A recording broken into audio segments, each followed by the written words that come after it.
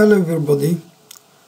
Our presentation is entitled Numerical Study of the Turbulent Airflow through Turbocharger Compressor using different rotor shapes. In this study, a steady three-dimensional RANS numerical simulation has been carried out to investigate the turbulent airflow through the centrifugal compressor used for turbocharger applications. The full compressor stage with the vaneless diffuser is, is considered. Particular attention is focused on the effect of the impeller geometry on the turbulent flow field and the pressure ratio.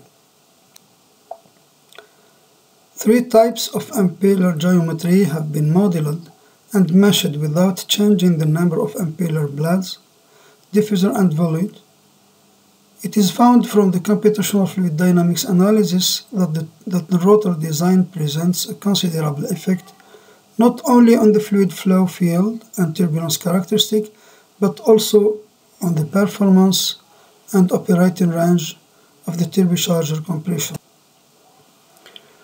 As a result,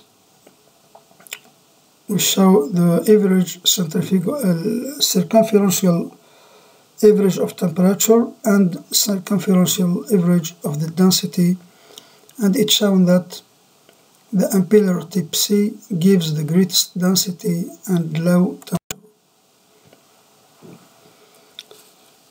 The contour of static pressure shows that for the compressor inlet and impeller in the three cases the pressure difference between the blade suction side and the blade pressure side is clearly remarkable.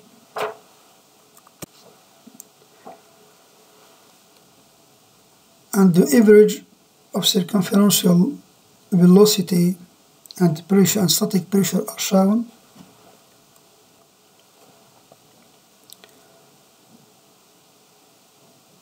For the velocity vector, it is mapped on the Mach number field in the full stage of the centrifugal compressor. It is remarkable that the flow is decelerated progressively as static pressure increases. Almost the same is done for the other simulations.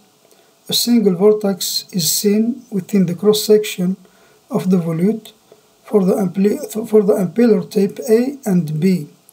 The Mach number is greater than 1 at the blade outlet, then returns to subsonic regime at the diffuser exit and through the volute, which is not seen in the case of the impeller C.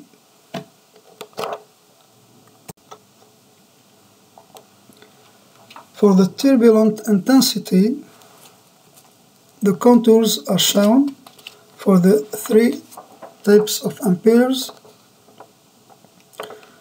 and the turbulence intensity presented as an indicator of turbulent agitation relative to the kinematic field of the mean flow.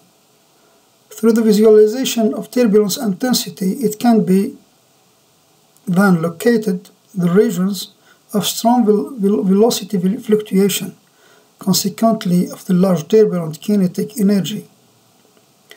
In those figures, it's shown that the contour of turbulence intensity for the case of impeller A present the high intensity of turbulence is in a blade inlet.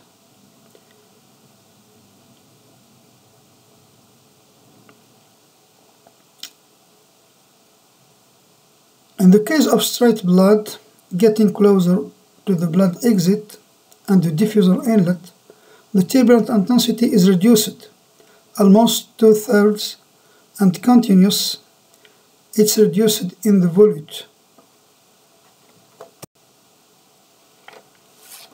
As a conclusion, from the obtained results, it is tried to give a suggestion in this, in this regard, regard of selection of the type of impeller. The type C backward curved inducer impeller that has proved to be the best tape since operating range that has the most extensive and the lowest temperature of the compressor outlet, which gives the advantage to not use an intercooler between the compressor and engine. Thank you for your attention.